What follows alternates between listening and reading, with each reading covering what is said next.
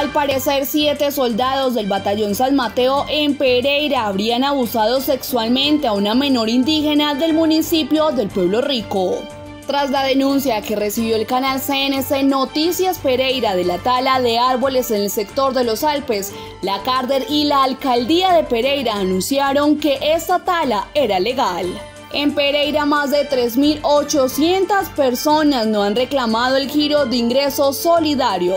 Serviciudad inició con los estudios técnicos en el río San José en Dos Quebradas para la creación de un acueducto que generaría la autoridad hídrica en el municipio industrial en el año 2025. A través de la campaña Pague menos de lo que debe, desde la alcaldía de Pereira invitan a los deudores morosos para que paguen sus obligaciones tributarias a través del programa radial La Escuela es mi casa, emitido a través de Ecos 1360 Radio y con la ayuda de dos megacolegios brindan un espacio de educación virtual permitiendo la interacción entre padres, estudiantes y docentes.